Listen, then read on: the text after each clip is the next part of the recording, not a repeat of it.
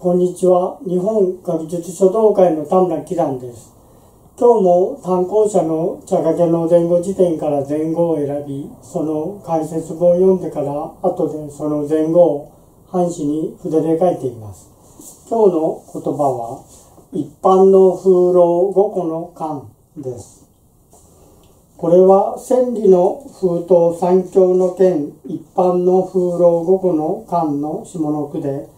遥か彼方の雲と波が連なって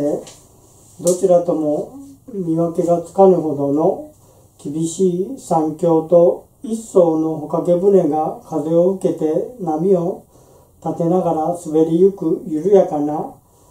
太鼓を表します。急と関山峡は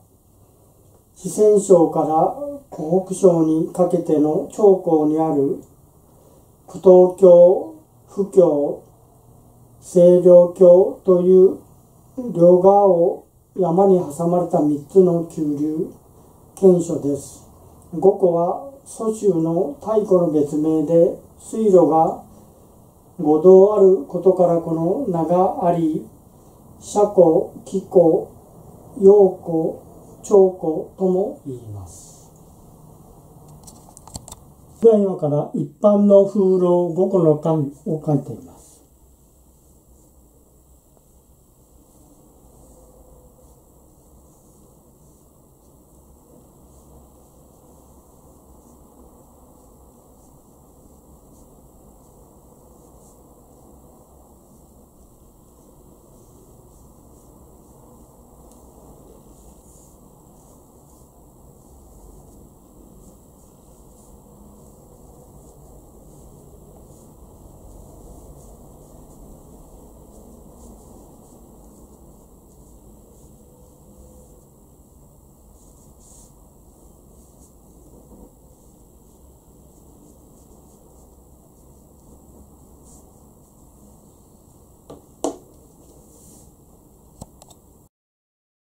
最後までご覧いただきありがとうございました。